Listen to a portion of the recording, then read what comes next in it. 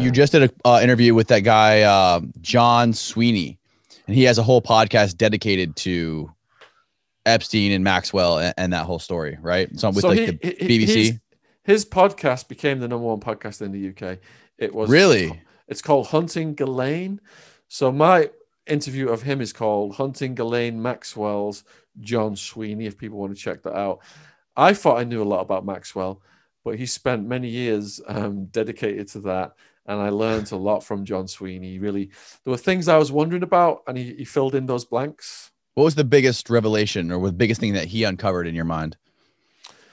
So he talked about Maxwell, Ghislaine Maxwell's upbringing, and he just went into you know a vivid description of how dysfunctional it was under Robert Maxwell, who was this charismatic media tycoon, but he was also an absolute monster and a psychopath in many ways, and because he was so charming people who were close to him, you know, when they said like he's a monster, he's a psychopath, they said, "Well, at least he's our monster, or at least he's our psychopath."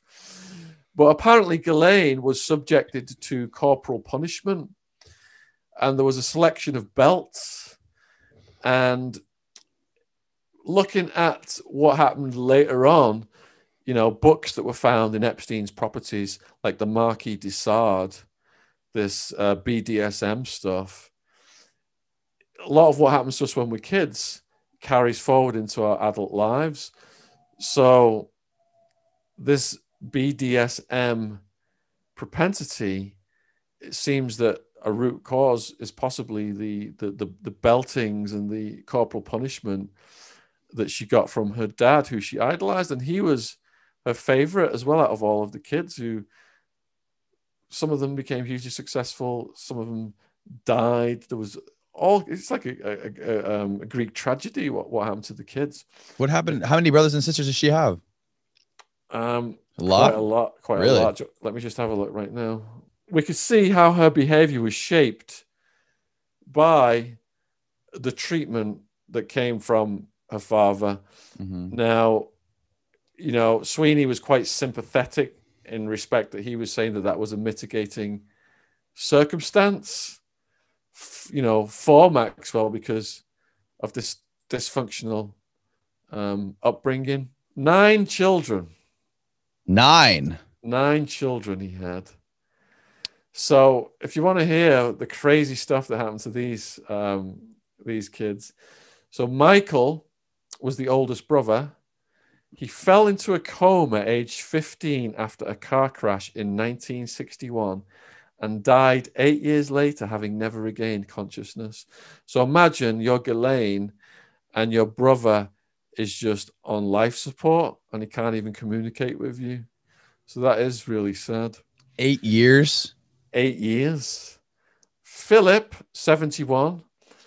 Um, poor Philip, he was described by as his friends, became a brilliant scientist and mathematician, hmm. won a scholarship to Balliol College, Oxford at just 16.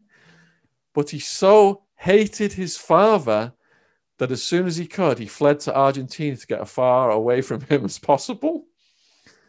They fell out when he married Nilda, an Argentinian, in 1977 against his dad's wishes. The marriage didn't last. Nilda moved out, taking their daughter Marcella with her, and a second marriage also failed. He was last heard of living in a 65 pound a week flat that is a $100 a week apartment in North London, trying to be a writer. And what was he writing about? His bullying father.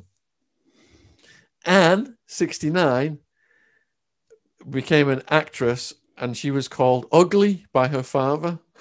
God. When her fledgling acting career floundered, her dad said, What have you and Pope John Paul II got in common? You are both ugly and you are both failed actors. This is how crazy that guy was. Jesus Christ. She studied Italian and French at Oxford, trained at a as a Montessori teacher, married an osteopath, and is now believed to be a hypnotist in Surrey, practicing under a different name. Um, she kept out of the limelight since her father's death in 1968. So I'm in Surrey. I might try and get a hold of her. Oh, this is a good one. Christine, so you saw some of them um, didn't do very well, but these did. Christine and her sister Isabel made the Sunday Times rich list in 1999 after amassing a hundred million pounds during the dot com bubble. But then they lost it all. But now they're back up again or something. It's crazy. Jeez, man. Yeah, yeah. Um, where where are they all? Where was the uh what was the dad's name again? Robert Maxwell. Robert Maxwell. Where was he? Where where did he live? Where was he based at? Was he in the uh, UK? So he was out of Czechoslovakia, Oh, okay. and his entire family were wiped out in the Holocaust.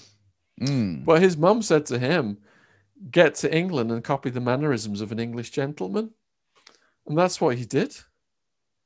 Interesting. Oh, there was here's a weird death. Isabel, the second twin, she um, got together with an illusionist, a third husband, illusionist Al Seckel, a significant player in the California literary aca- academ- academic and celebrity scene, was famous for holding parties for the great and good, and was a good friend of Epstein.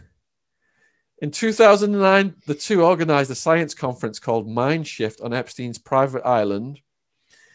Isabel and Seckel married in Malibu in 2007, but the union was never legal as he'd forgotten to file the papers to annul the second of three previous marriages. Um, but here's what happens to him. Um, in 2015, Seckel was found dead below a cliff near their home in the village of Saint Cirque La Popie in France's Lot Valley. And Isabel still lives in the south of France. Was he Epstein in 2015? Somebody needs HBO needs to do a documentary on the Maxwell family. That His- would be fucking bonkers. Here's an even sadder one. Corrine, the middle sister, age three in 1957, died of leukemia. Oh, On and on it goes, man. It's endless. The sister, yeah. jeez. Someone, It's a tragic, a tragic history from that family. Kevin became Britain's biggest ever bankruptcy. on, on and on it goes. Yeah. wow.